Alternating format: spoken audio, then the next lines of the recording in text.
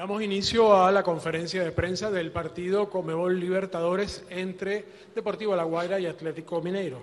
Nos acompaña en la sección de preguntas el jugador Federico Saracho por el equipo Atlético Mineiro.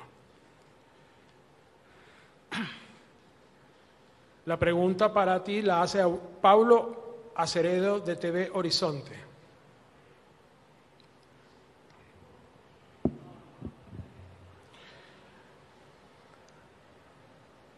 Cambiamos la pregunta para Jair Pineda de la Noticia Express.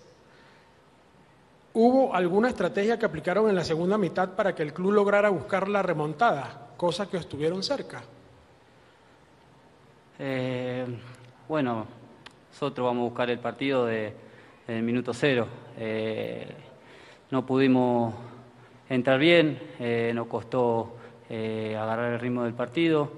Los últimos 15 minutos le fuimos agarrando la mano y el segundo tiempo, bueno, fuimos superiores y por eso fue que, bueno, llegó el empate y bueno, eh, tuvimos más, más ocasiones para poder llevarnos los tres puntos, pero bueno, eh, faltó, faltó la definición.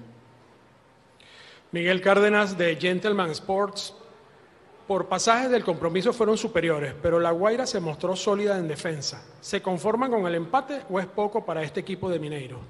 No, como te dije recién, eh, nosotros eh, venimos a buscar los tres puntos. Eh, en cada juego vamos a dar lo mejor para, bueno, para llevarnos los tres puntos. en este caso, como, como dice la pregunta, defendieron muy bien. Solo faltó ajustar la, la definición, que, que, tuvimos bastante, pero bueno, ya vamos a ajustar eso. Con esta terminamos las preguntas para ti. Muchas gracias por estar con nosotros. No, bueno. ¿Cuáles fueron los aspectos más destacados de su equipo? ¿Qué sectores funcionaron mejor?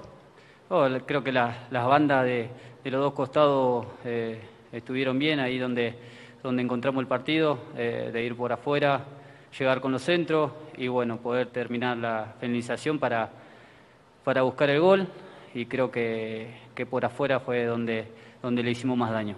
Vale, agradecido. Gracias por tu tiempo. No, gracias a usted.